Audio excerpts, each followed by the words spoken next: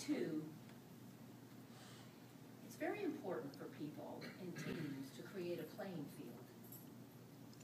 Now, when you think about it, and so I drew this picture, I thought, okay, how many of you would rather be on that, in that, on that court, playing, or would you rather be on the bench?